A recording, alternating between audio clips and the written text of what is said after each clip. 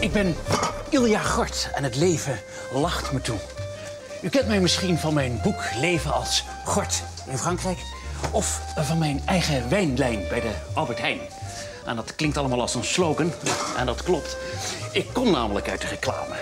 Ik componeerde ooit dat liedje voor een bekend koffiemerk. En dat wordt nu nog over de hele wereld gedraaid. Dus elke keer als dat klinkt, dan knallen voor mij de kurken. Kitching!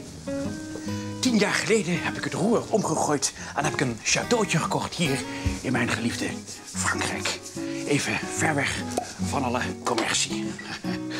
En ik probeer natuurlijk niet al te zeer op te vallen. Dus nou zie ik er ook uit als een authentiek Frans wijnboertje met een snor als een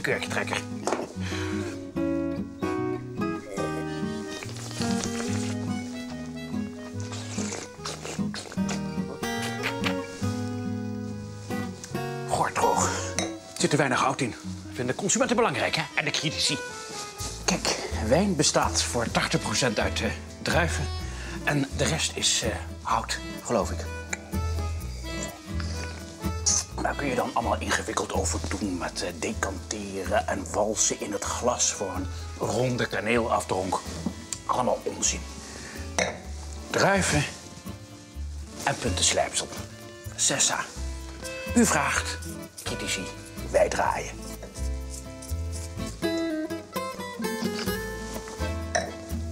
Op een dag werd ik gebeld of ik een programma wilde maken over wijn voor Omroep Max. Dus ik denk, Omroep Max, dat is toch eh, Jan Slachter, de geheugentrainer, dokter Deen.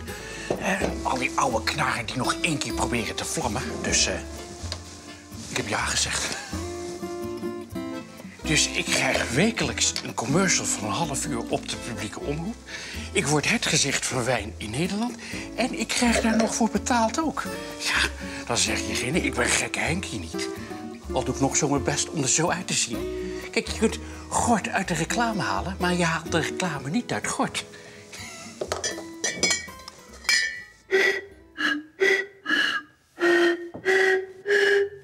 Kaching!